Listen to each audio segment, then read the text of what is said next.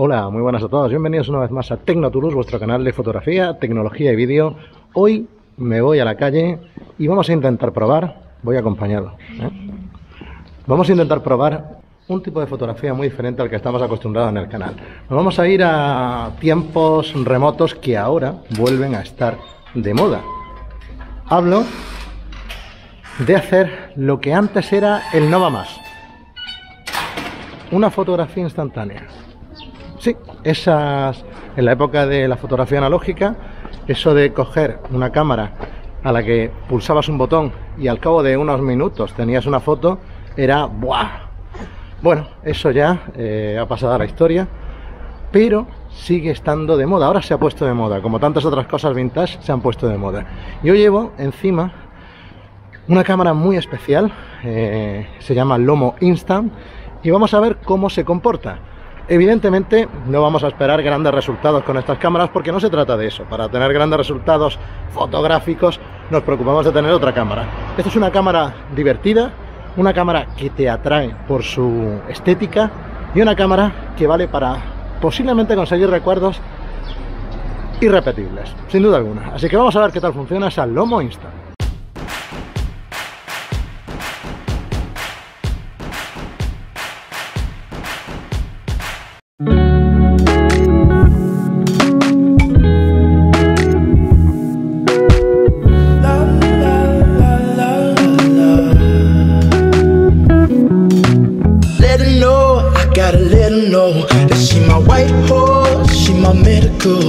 Like my baby mama, know how to take care of me. Give my baby problems, you gon' regret everything. So I let her know, gotta let her know.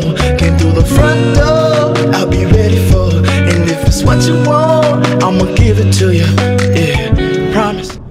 Esto es un lujo porque hoy tengo hasta ayudante de cámara que no suelo tener. Wow, but it's your style, so something must be up keeping you down.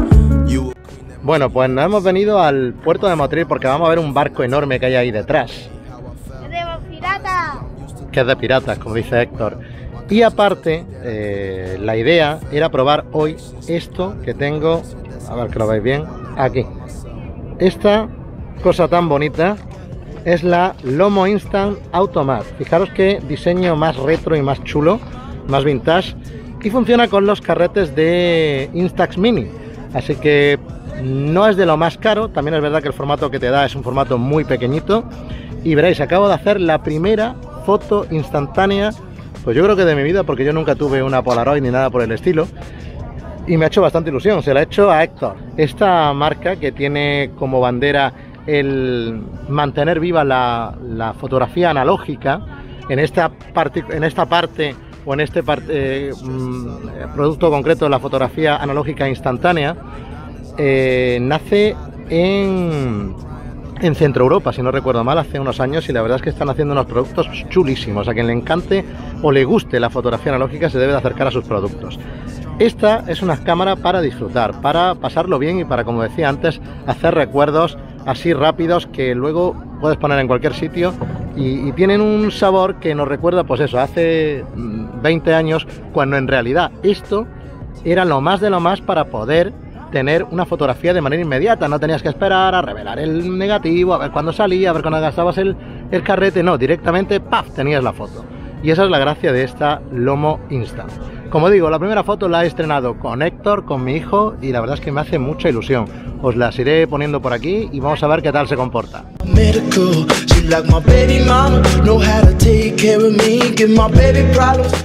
Bueno, pues ya hemos estado probando la Lomo Instant. Os iré dejando las fotillas que he hecho por ahí. Eh, tengo que probarla mucho mejor. Lo chulo de esta cámara es que además viene con un kit donde puedo cambiar la óptica de la cámara y hacer eh, tener un gran angular extremo. Puedo tener un, un objetivo macro. Tengo un disparador eh, remoto para poder hacer fotos a uno mismo, pero así, sin más para lo que creo que es más interesante esta cámara, que es cogerla y empezar a hacer unas cuantas fotos, pues la verdad es que me ha sorprendido para bien.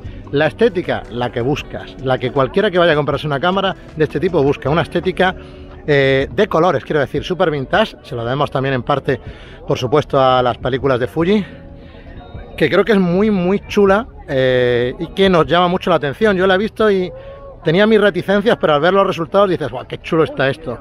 Creo que sobre todo es una foto para hacerse fotos, nunca mejor dicho, de recuerdo. Y, y tiene muchas más opciones. Los pormenores os los termino de contar en el estudio. Bueno, pues ya en casa con la Lomo Instant. No sé si la habéis visto bien, pero aquí os la enseño bien para que la veáis.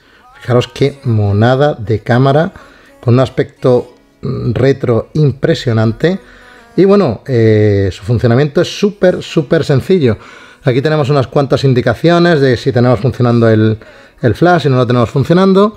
Eh, y por delante tenemos, eh, digamos, los controles básicos. Esto, a ver que lo veáis bien.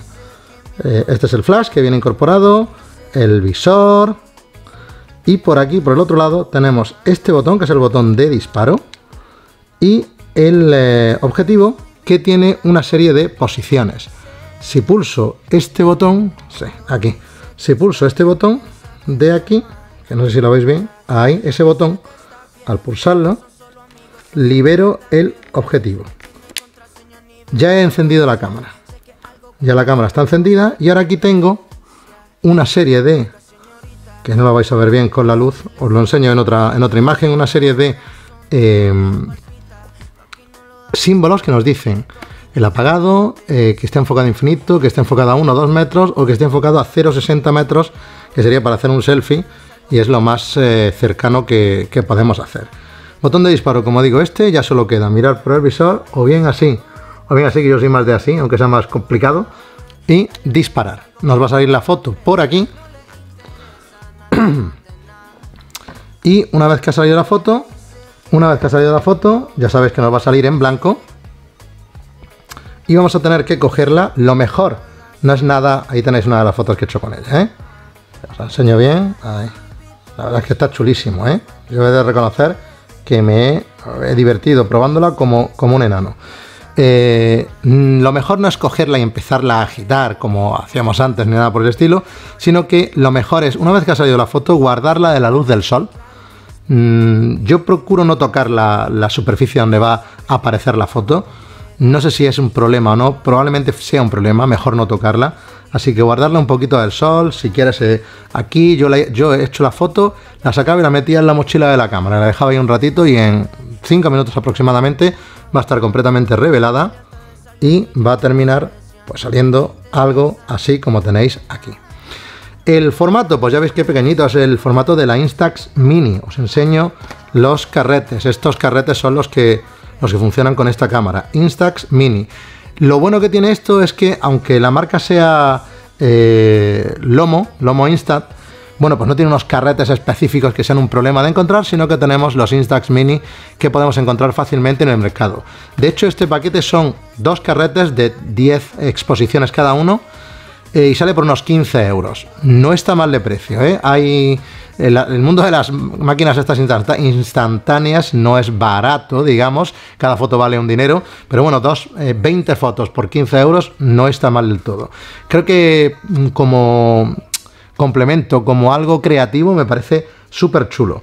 El funcionamiento, pues ya veis el aspecto que tienen las fotos, son eh, pues muy características de las fotos de revelado instantáneo.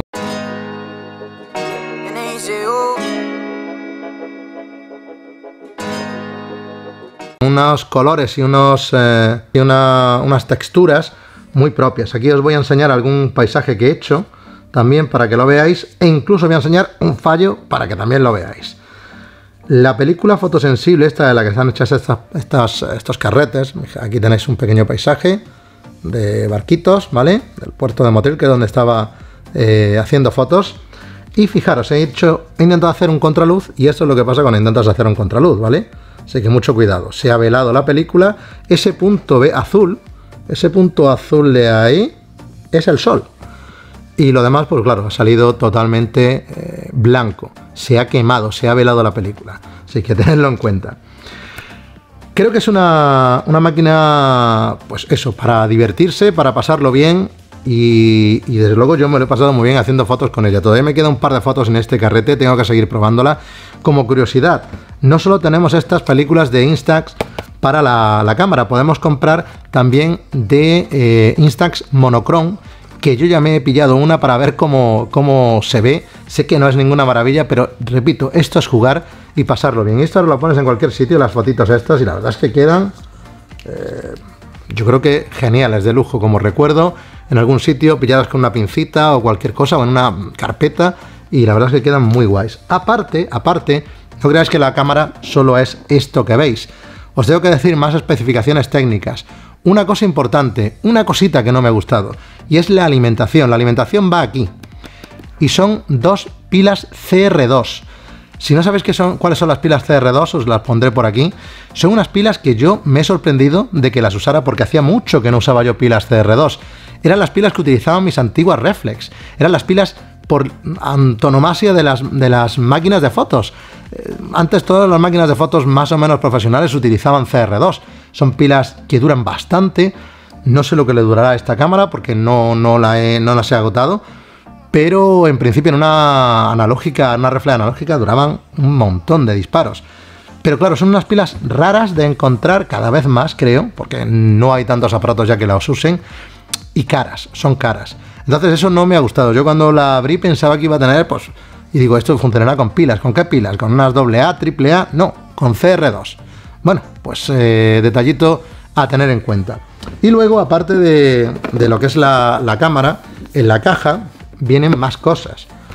Vienen, aparte del agujero de la, de la cámara, esto que tenéis aquí son accesorios para cambiar el ángulo con el que podemos hacer la foto con nuestra lomo.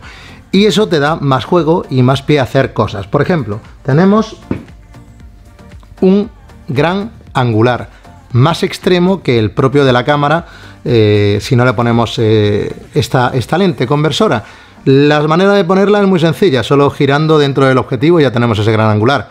Ojo, cosa importante, que en este mundo de hoy esto ya no se estila, como el visor que tenemos de la cámara no es el propio, esto, esto no es una reflex, ni una cámara digital, lo que vemos por el visor no es exactamente lo que vamos a sacar en nuestra foto, tenemos que calcular la corrección que nos haga falta, que lo haremos a ojo cuando saquemos dos fotos, ya os lo digo yo, pero además si nosotros le ponemos una lente conversora que convierte esto en un más en un angular mayor, me ha pasado hasta a mí, ya os lo digo, lo reconozco, lo primero que he hecho ha sido poner la lente y decir, a ver, pues se ve igual, digo, claro que se ve igual, no tiene nada que ver el visor con lo que está viendo el objetivo. Pero el resultado es este que ya estáis viendo por aquí. Aparte de, de esa lente gran angular, tenemos un ojo de pez, que sería un angular extremo. También tenemos una lente muy pequeñita, que la veis aquí, que es lo que nos vale, a ver si no enfoca la cámara, ahí, que es lo que nos vale para poder mmm, enfocar más de cerca a 10 centímetros solo, no a 60 60 centímetros, que es lo mínimo que podemos, podemos, enfocar con esta lente. Y con esto lo que conseguimos es poder hacer un pequeño macro para que nos entendamos. Y otra cosa que nos trae es esto de aquí. Nos permite poder eh, exponer una sola parte de la foto mientras dejamos libre la otra parte y así eh, ser más creativos. Haciendo una doble exposición podemos hacer cosas muy chulas exponiendo por un lado, por el otro y pues imaginar lo que nosotros queramos. Y también para terminar nos trae esto. Esto es un control remoto para poder disparar desde la distancia y poder salir en la foto. Aunque yo cuando he hecho un selfie con ella me la he hecho a mí mismo y ya está, pero si quieres posar y ponerte más lejos, pues con este pequeño control remoto lo puedes hacer. Así que como veis, trae un montón de accesorios y todos pueden ser eh, llamativos. Me parece un producto muy chulo. Eh, tanto este, esta Instax, eh, esta Lomo Instax, como todos los productos de Lomo, que os dejo la, la web de, la marca en, en la descripción del vídeo. Echadle un vistazo porque esto de rescatar el mundo analógico de en la fotografía actual, pues creo que para los muy jóvenes es un descubrimiento y para los nostálgicos, pues es eh, muy llamativo. De verdad, estas fotitos tan pequeñas, tan eh, con tan poco rango dinámico que puede dar una, cámara eh, instantánea, etcétera, etcétera, etcétera. A nivel de técnica fotográfica, a nivel de buscar la excelencia, evidentemente esta no es la mejor opción.